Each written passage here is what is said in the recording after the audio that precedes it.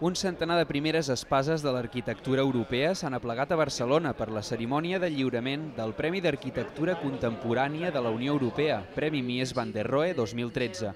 Un guardó que en aquesta edició ha reconegut el treball dels arquitectes de l'Auditori Harpa a la ciutat de Reykjavik, un edifici amb més de 1.000 peces tridimensionals que generen un joc de colors sempre canviant. La bona arquitectura ha de fer més per la societat i no ser simplement una peça perfecta d'arquitectura.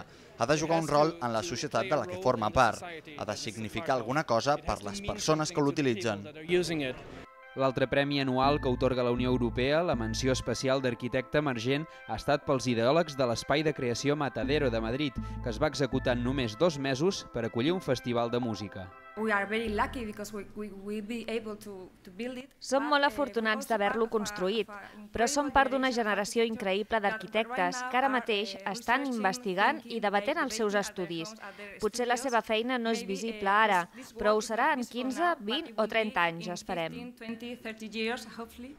Ha presidit l'acte de lliurament l'alcalde Xavier Trias, que ha destacat el paper de Barcelona com un dels principals focus d'arquitectura i urbanisme del continent europeu.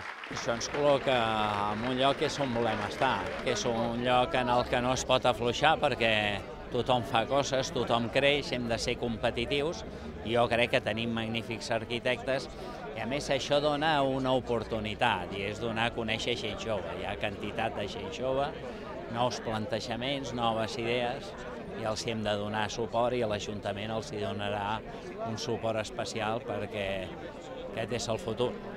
Els Premis Mies van der Rohe celebren aquest any el seu 25è aniversari, motiu pel qual el Museu Nacional d'Art de Catalunya, el MANAC, ha organitzat una exposició que recull 220 maquetes d'alguns dels projectes premiats al llarg dels anys.